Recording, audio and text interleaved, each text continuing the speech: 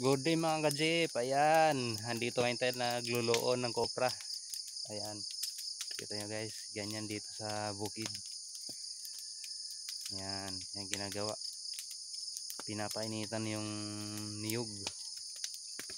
Ayan.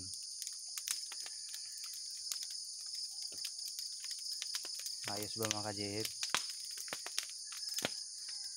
Ayan.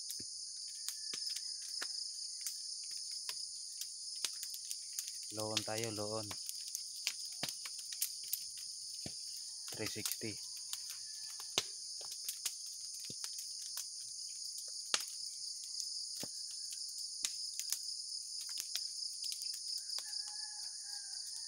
Ganda ng paligid ba guys?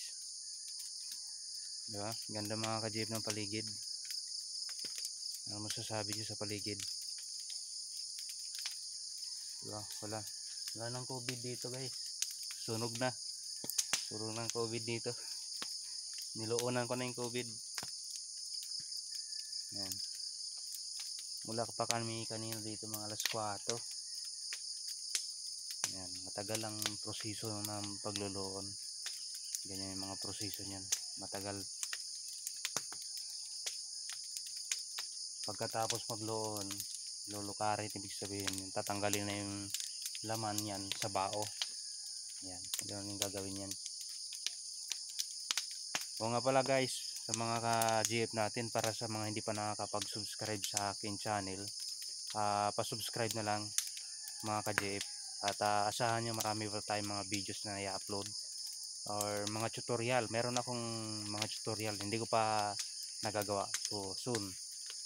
Uh, i ano ko yan i-upload ko yung mga ka-JP mga ano natin mga tutorial.